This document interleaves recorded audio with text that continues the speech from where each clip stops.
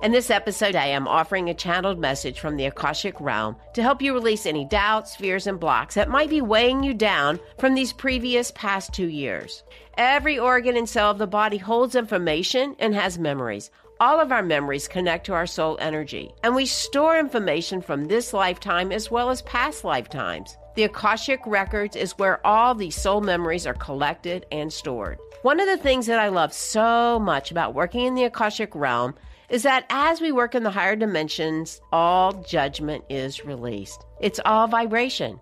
You don't have to take any of the blame or shame or negative emotions about the imprints. We just clear them out and raise the vibrations to a higher level as the clearing occurs.